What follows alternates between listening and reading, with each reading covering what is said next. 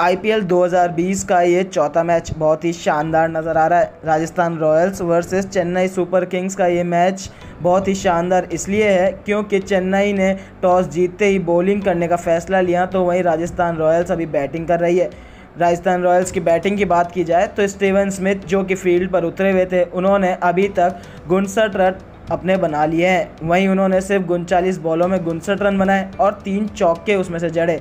वहीं छक्के की बात की जाए तो स्टीवन स्मिथ ने चार छक्के अभी तक जड़ चुके हैं। स्टीवन स्मिथ के अगर छक्के जड़ने की बात की जाए तो स्मिथ ने कई सारे प्लेयर्स की बॉलों पर छक्के जड़ते हुए नज़र आए। वहीं बात करें चावला की बॉल तो स्मिथ ने चावला की बॉल पर कई छक्के जड़े।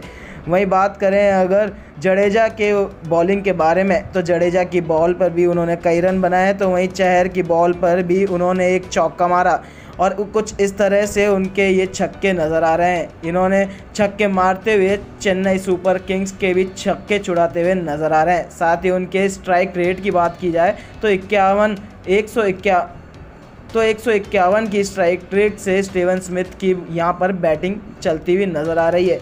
दोस्तों, स्टीवन स्मिथ, संजू सैमसन, इन दोनों ने ही राजस्थान रॉयल्स की बैटिंग फ़ील्ड पर उतरते ही बहुत शानदार रन यहाँ पे बनाते हुए नज़र आए। तो वहीं अब आपको क्या लगता है कि इन दोनों ही टीम्स के बीच में से कौन सी टीम ज़्यादा अच्छा प्रदर्शन करके दिखाने वाली है? दोस्तों, ये आप हमें कमेंट करके ज़रूर बताएँ। बाकी की ऐसी और खबर जानने के लिए सब्सक्राइब कीजिए हमारे चैनल न्यूज़ जंक्शन को।